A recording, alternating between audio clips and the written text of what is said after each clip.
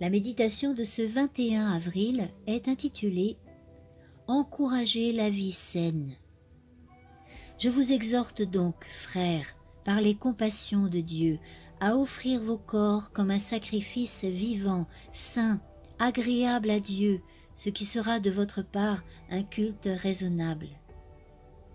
L'homme qui continue de s'adonner à des pratiques qui le privent de sa vigueur physique, intellectuelle et morale, ne peut pas offrir son corps en sacrifice vivant, saint et agréable à Dieu.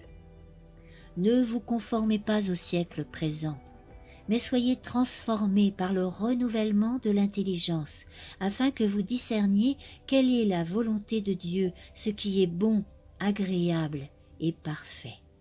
Romains 12, 2. Nous vivons dans un monde qui s'oppose à la justice, à la pureté de caractère et spécialement à toute croissance en grâce.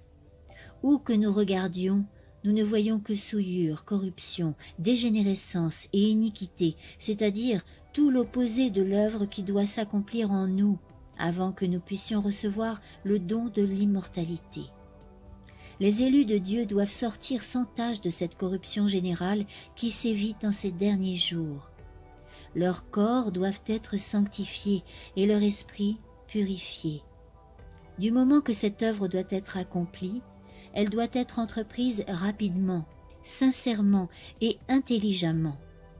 L'Esprit de Dieu doit en avoir le contrôle, inspirant chaque action. La réforme sanitaire est une branche de la grande œuvre qui doit préparer un peuple pour la venue du Seigneur. Les hommes et les femmes ne peuvent violer la loi naturelle pour satisfaire leur appétit perverti et leur passion sensuelle sans violer la loi de Dieu. Donc, Dieu a permis que la lumière de la réforme sanitaire resplendisse sur nous, afin que nous puissions comprendre que briser les lois qu'il a incorporées dans notre être est un péché.